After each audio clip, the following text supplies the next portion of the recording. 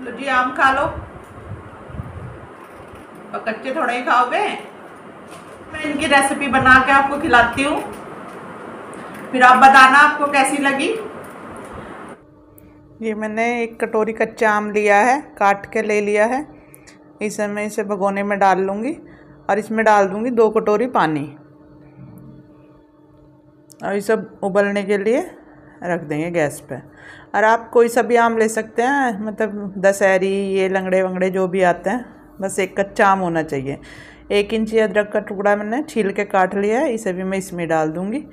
ये बॉईल कर रही हूँ मैं इसमें, तब इसी में मैंने अदरक भी डाल दिया है। और ये हैं आठ दस काली मिर्च के दाने, ये भी मैं इसमें डाल दूँगी।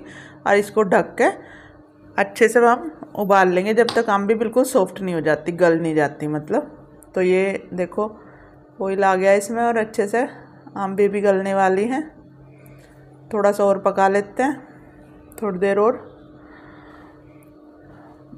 और देखो ये अच्छे से गल गई हैं काफ़ी मैश हो रही हैं हमें देखो। देखना कितने आराम से कट पा रही हैं। तो ये इसी तरह हमें करना है। और अभी इसे थोड़ा सा ठंडा होने देंगे। ठंडा होने के बाद इसे हम और साइड में मैं सब्ज़ी भी बना रही थी आम की। तो ये देखो, ये ठंडा हो गया है थोड़ा सा थोड़ा सा क्या, अभी तो काफ़ी भाप उठ रही है इसमें। देखो, अब भी ये बिल्कुल ठंडा हो गया है। तो अब मैं इसे मिक्सी में डाल लूँगी, इसमें जार में, और इसे हमने इसका बिल्कुल बारीक पेस्ट बनाना है। और ये हम बना रहे हैं आम का पन्ना। कच्चे आम से ही बनता है ये। इसे पीने से लू का असर नहीं होता है आपकी बॉडी पे। अगर आपको लू, और ये एक चम्मच सौंप मैंने पानी में भिगो दी थी थोड़ी देर पहले इसे भी हम इसमें डालें। सौंप की तासीर भी ठंडी होती है। आप गर्मियों में सौंप का शरबत या किसी भी शरबत में सौंप का पानी मिला के पिएँ तो बहुत अच्छा होता है। तो देखो, एक जो आम उबाला था वो और एक चम्मच सौंप भिगोई थी वो।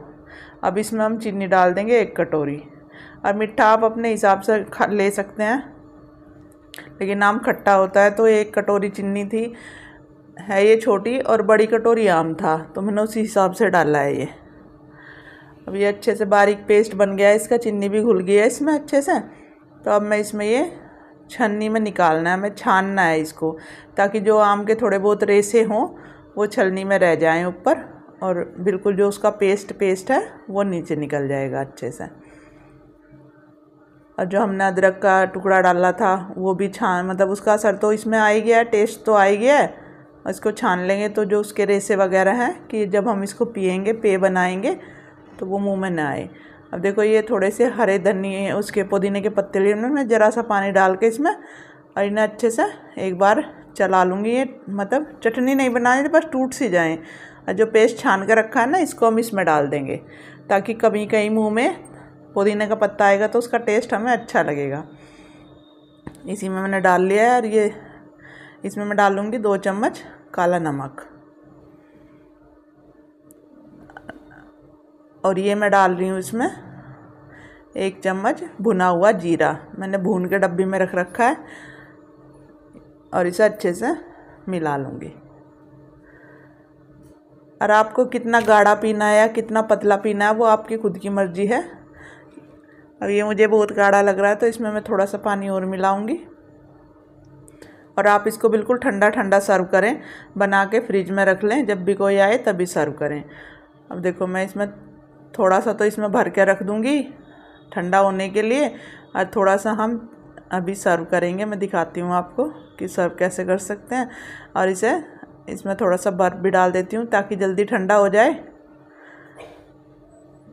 क्योंकि कोई चीज़ बनती है ना तो फटाफट उसको कि देखो कैसी बनी है, खा के देखने की इच्छा है तो इसलिए मैं इसमें बर्फ़ डाल रही हूँ तो ये जल्दी ठंडा हो जाएगा।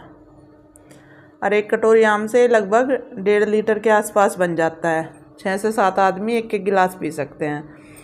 देखो, अब मैं सर्व कर रही हूँ।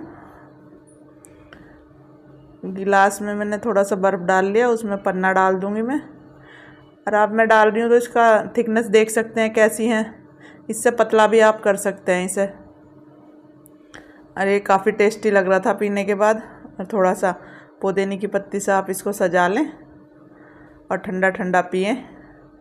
और बताएँ, कैसा लगा आपको आम का पन्ना? एक छोटी सी रेसिपी आपके लिए। बनाते रहिए।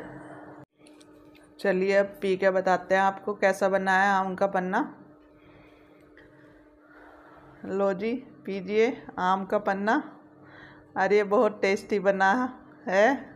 अभी मैं पी के बताती हूँ आपको। अमेजिंग